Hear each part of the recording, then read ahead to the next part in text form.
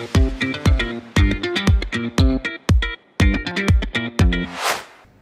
everyone! Welcome again to Makoy's Kitchen.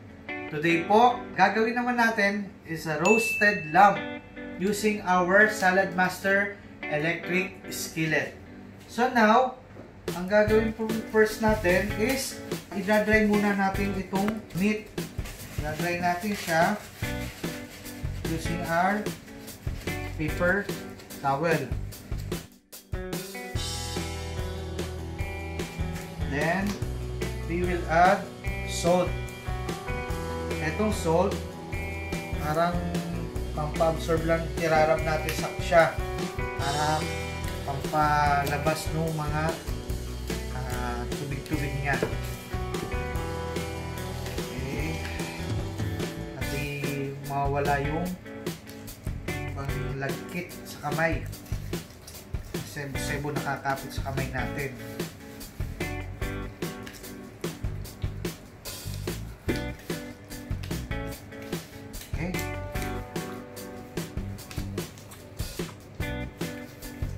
kasi yung salt ang magka-absorb no pinaka parang langis-langis niya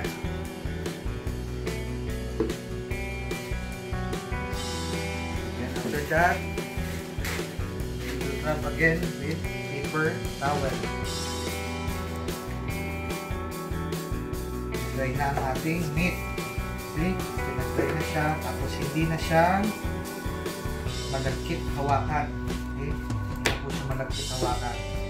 Ngayon, after this, I will wash it with with this vinegar and lemon juice. So, half cup vinegar then half cup lemon juice.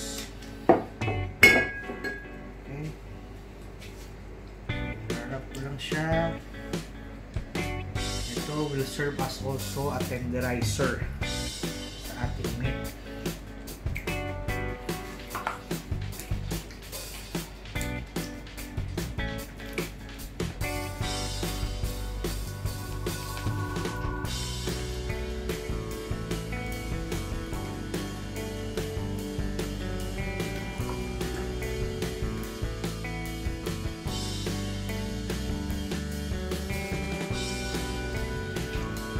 acid is reacting on the meat. So, magsaserve siya as meat and then rice meat.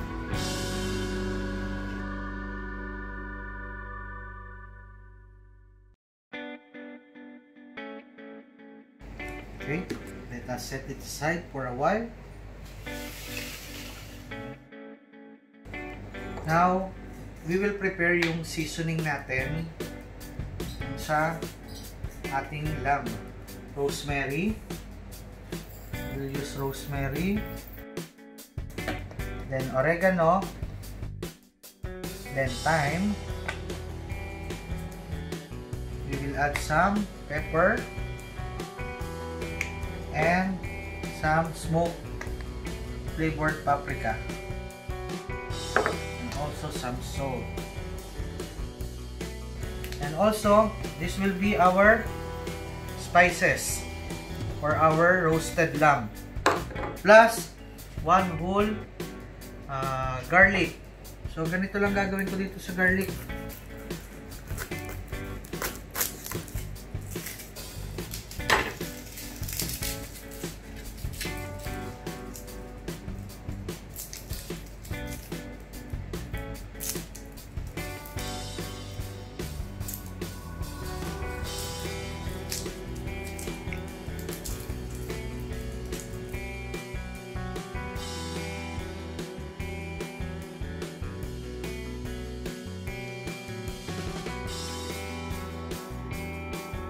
Mapapansin nyo, hindi ko binalatan yung garlic natin.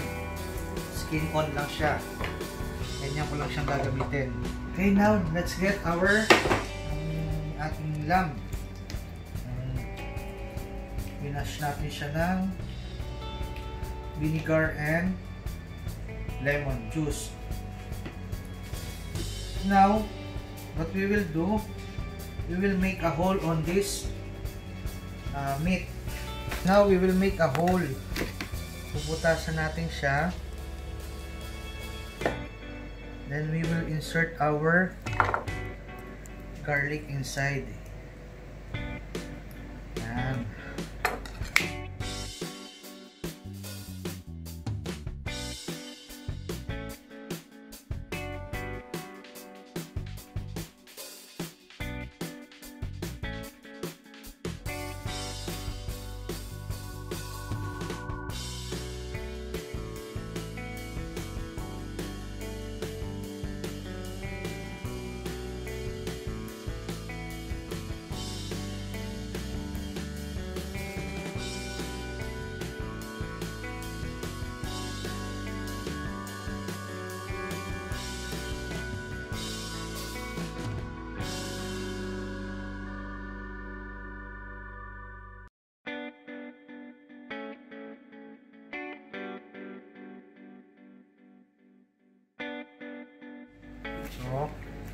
Na-insert na natin yung ating mga garlic. Then, we will put our spices.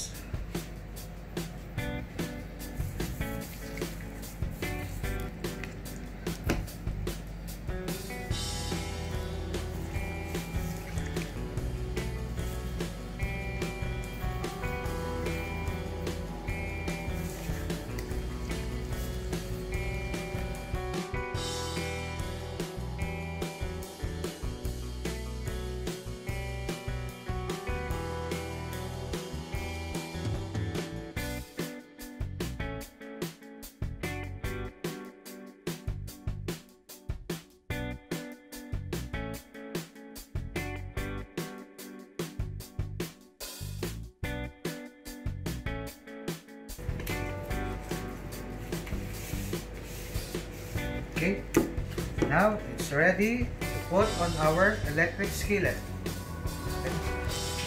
Preheat our electric skillet by 230 degrees Celsius. Now we will check if our uh, electric skillet is ready na. So, so I think it's already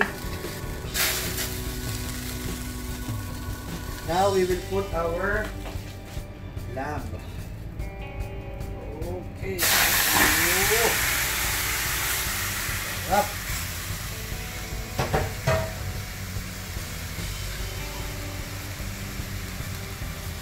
And we will just toast this one with little bit open here. Okay. We'll put this one around 5 minutes then we will turn it upside down. Okay? Let us wait. Okay. Then let's turn it other side. Brown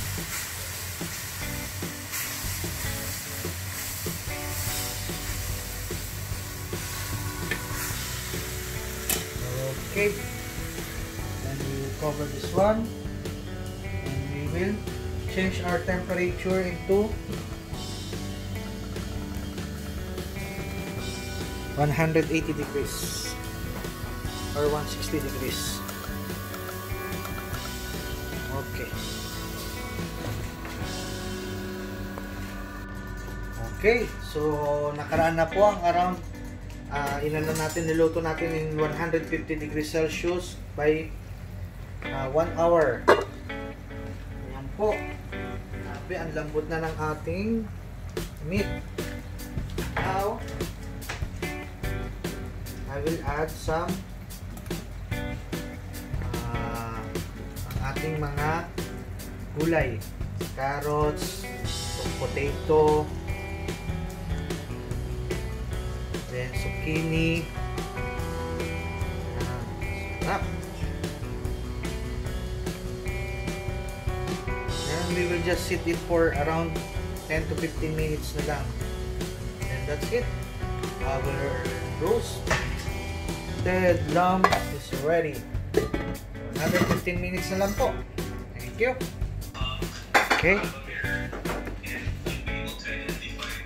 Oh, 5 minutes has gone. Let us see. So now, this is it. Our roast lamb is ready with vegetable. See the color of vegetable? Ang ganda ng kulay. Kasi natural siya. Hindi siya nawala ang nutrients niya. Okay. So lunch is ready.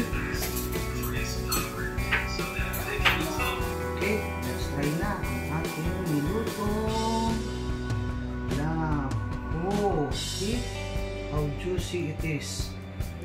Ano po? Okay, let's try to eat. Enjoy eating. Bye.